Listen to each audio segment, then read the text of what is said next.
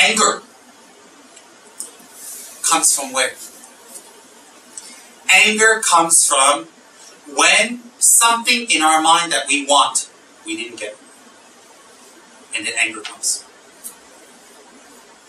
Why does anger come when we don't get something that we want? Because we are very selfish. Very selfish. Why? Check yourself out. If someone gives you good words, oh, you feel so happy. When someone gives you gifts, you take it. If someone gives you money, you take it. If someone gives you nice advice and praise you, you accept it. If someone says something to you that you like, you accept it. But if someone says to you something else, how do you act? How you act and how you think and how you react is not that somebody, it is your mind. Why is it your mind? Do you expect the whole world to talk to you nicely? Do you expect the whole world to give you everything, but you never give anything back? Example, which one of you have given me advice? Which one of you have taught me the Dharma? Which one of you have taken care of my loans? Which one of you have paid for my house rental? Which one of you have cooked food and taken care of me when I'm sick? Which one of you have taken me to the hospital? Which one of you have sit here and make sure I'm alright? Even which one of you gave me flowers when I'm very sick this week? Which one of you buy one single flower and put it here and say, Rinpoche, I don't have much money, but dear Rinpoche, please get well. Which one of you? That shows you your mind. That shows you who you are. So if you're here to take things, if you're here to take things, then wherever you go, you will take things. Wherever you go, you will take things. Wherever you go, if you take things, you will lose respect for yourself. Your mind will not be at peace, and you will feel ashamed. You will feel ashamed. Let me tell you why. Because as we get older, no one can talk to us the way Rinpoche talked to you. Because your mother and father cannot talk to you anymore.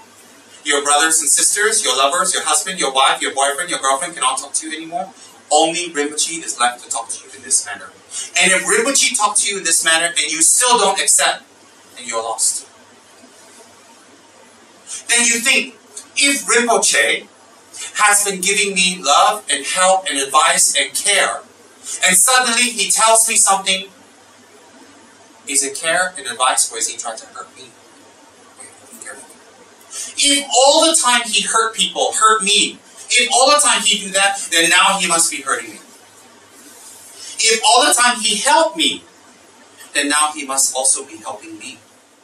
He must be also helping. So what we need to do is we need to think about the kindness of others. And instead of getting angry for what we did not get, we have to be happy what we already got. And think how to give back. Be a good person. Be a good man. Be a good woman. And stop the thinking to get things.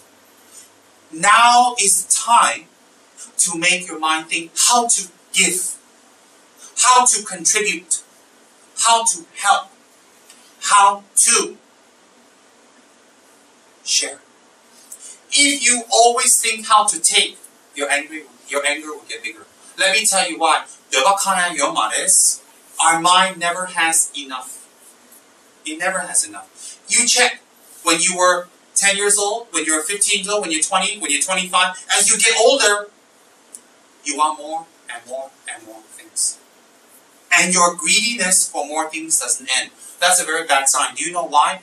Because even if you get what you want, you will want more because what you get is not enough. Then more and more and more. As you get older, you will become unhappy, angry, frustrated, and you know what happened? This is the very bad thing. The thing that we have good now, we will lose it. And we will never get it. Do you know how many people come and tell me what they have lost? And how they're sad?